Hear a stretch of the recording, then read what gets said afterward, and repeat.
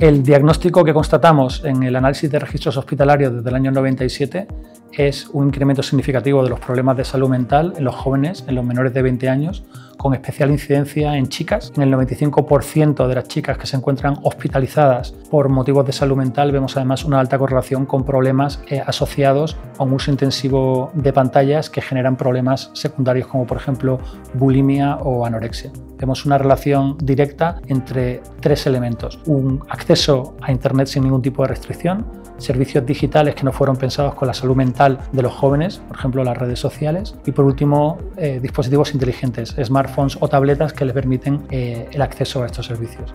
Que si un chico de 15 años pone en TikTok soy un chico de 15 años y, tengo, y me siento triste, en menos de 20 minutos está en lo que dicen la madriguera del conejo, con contenidos relacionados con el suicidio, con autolesiones, con mensajes de desesperanza. Las edades mínimas para acceso a servicios digitales muchas veces no se encuentran, eh, no se respetan. Vemos niños muy muy pequeños, 8, 9 años, que tienen ya por ejemplo cuentas eh, en redes sociales, que están expuestos a publicidad o a servicios que no fueron pensados teniendo en cuenta eh, sus cerebros de, niños o de, o de, adolescentes, por un lado. Y por un segundo, un segundo elemento que yo creo que es importante es, hay un research, hay investigaciones nuevas que demuestran que en función de la madurez de los niños, de la edad de los niños, es probable que nos tengamos que replantear algunos de los usos y costumbres que tenemos en la utilización de la, de la tecnología. Siempre acaba teniendo más dificultades el que menos recursos tiene. Nos pasa que en clases más desfavorecidas, de entrada ya, porque yo creo que también estos padres son como más permeables a las influencias de la publicidad, los mensajes que les pueden decir, acceden más a darle a sus hijos tecnologías, pero también es verdad es que hay veces que hay padres en estos estratos que no pueden estar con sus hijos, o sea, que tienen que estar trabajando y que tienen esas dificultades. entonces al final salen del colegio, se meten en casa, en una exposición con una pantalla y hasta el día siguiente en el colegio.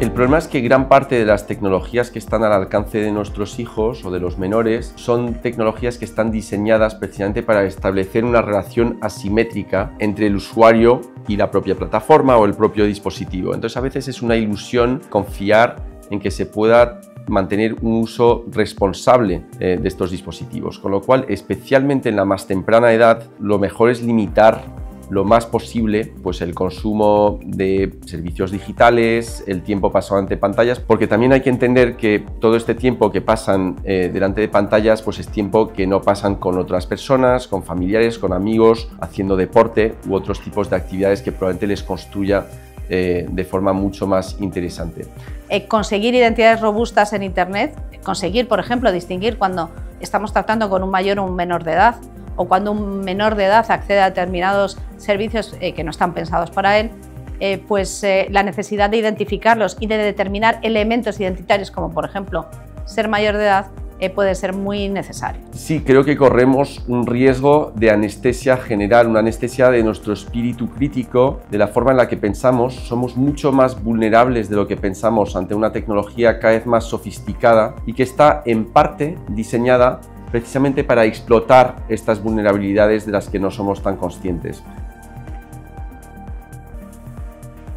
Bueno, la sociedad, a medida que se va transformando digitalmente, abre lo que se llama una nueva superficie de contacto, un nuevo espacio en el que conjuntamente a infinidad de, de beneficios que todos conocemos de la transformación digital empiezan a amanecer amenazas. Cuando lo hablamos de forma serena, mirando las soluciones, por ejemplo, hemos puesto en marcha un teléfono de prevención del suicidio para todos. ¿Qué te dice eso? Ostras, hay gente que piensa en el suicidio y sé dónde ir. Eso es preventivo. Claro, si empiezas a decir en un acto de amor tremendo, no sé quién se quitó la vida porque no sé quién lo dejó, los medios de comunicación ya no le están, porque a mí no me vienen chicos y me dicen, es que he leído el artículo del país y entonces, claro, he pensado en la muerte. No,